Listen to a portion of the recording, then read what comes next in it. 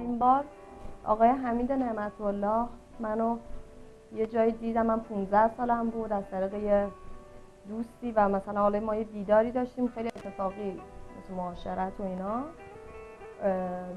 یه سال بعدش به دوست ما زنگ زدن که دوست خانوادگی داشتیم که دو تا سکانس اون دختره که دیدمش بازی می‌کنه برای فیلم مقلد شیطان افشین صادقی. من با هنر بیگانه نبودم.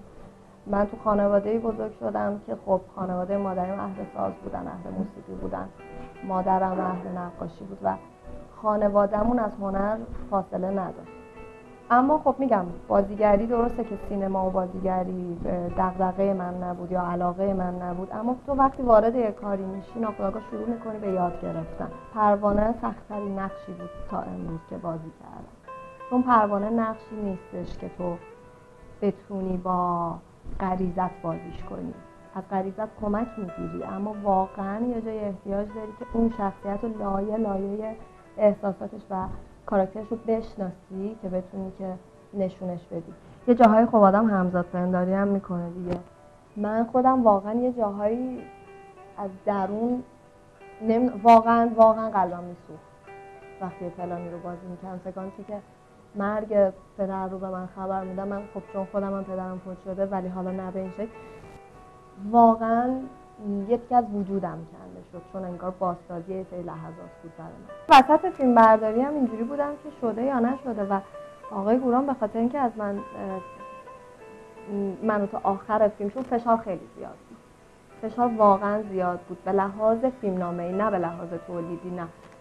بهترین گروهی بود که تجربهش کردم امیدوارم بازم بکنم و بعید می‌دونم. چون خیلی بیهاشیه بودیم ما. من از سختگیری نمیترسم وقتی که با اخلاق سر اون کار وجود داشته باشه. واقعا هر چقدر سختگیری باشه مهم ولی برعکسش فکر می‌کنم که اصلا غیر قابل تحمل باشه تو سینما. موسیقی اصلا زمانی که تمام استرابای کاری روحی همه چیزو می‌خوام بذارم که من اصلا اگر که تو روز موسیقی که دلم می‌خواد رو گوش ندم نمی‌تونم زندگی کنم. فیلمم نگاه می‌کنم ولی اینجوری که بخوام به بازیگری خودم رو نزدیک حس کنم یا حالا بخوام که نه نه یه کلمه نه توضیح ندم نه.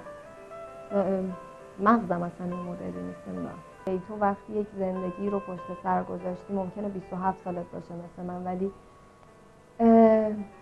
یه چیزی تو چشمات شکل می‌گیره که من فکر می‌کنم که فکر نمی کنم. خدا رو شکر می‌کنم بابت اینکه یه نگاهی رو در تو شکل میده بابت رنجی که در زندگی متحمل میشی. من خیلی دوست دارم که هم سن و سالام هم نسلای من که من که بازیگری دوست نداشتم یه اتفاقی برام افتاده. سرنوشتم این بوده خدا برام خواسته شانسشو داشتم یا هر چی که اسمشو بذارم نمی‌دونم. من وارد این کار شدم. اما خیلی سخته که تو علاقه داشته باشی به این کار و بمونی پشت سری در بسته. یعنی من می‌شناسم هم سن و سالامو هم نسلامو نه اونایی که فقط عشق به بازیگری یا سینما رو دارن. می‌بینم کسایی رو واقعا تو دور و دوستام که دوست دارن این کارو اون به کنار. دارن براش زحمت می‌کشن دارن تلاش می‌کنن که وارد این عرصه بشن. اما این اتفاق نمیافته. مگه ما چند تا بازیگر تو رنج سنی من داریم؟ نسل ما به حمایت بزرگای سینما یا حتی جوانای سینما که کار می‌کنن احتیاج داره. و من نمیگم در سینما رو باز کنن در تئاتر رو باز کنن هر کسی بیاد توش. نه اما وقتی اون کسی که لایقه رو اجازه بدید وارد شه. میگم من جایگاهی واقعا ندارم که راجع به این چیزا بخوام صحبت کنم. من حالا حالا جا دارم که یاد بگیرم و باید سرمو بندازم پایین کارمو بکنم. اما چون درد هم نسلامه چون هم سن و سالامن چون دوستای نزدیکم رو از نزدیک می‌بینم واقعا ناراحت میشم. دلم میسوزه چون دوست دارم که حمایت بشه از نسلمون. الانم نمی‌خوام راجع به اون چیزای غیر اخلاقی که وجود داره صحبت کنم چون برای خود پیش نیومده. اما خب انقدر شنیدم انقدر شنیدم انقدر شنیدم و بعضا دیدم که به خودم اجازه میدم که بگم بله چنین چیزی هست. نه همیشه تو مواردی هست و خب نکنیم این کارو. حمایت کنیم اجازه بدیم که این خانواده سینما بزرگتر شه آدمای جدید بیان نقشه تکراری رو ما بازی نکنیم. الان فیلم نامه ها برای نقشه اصلیشون تو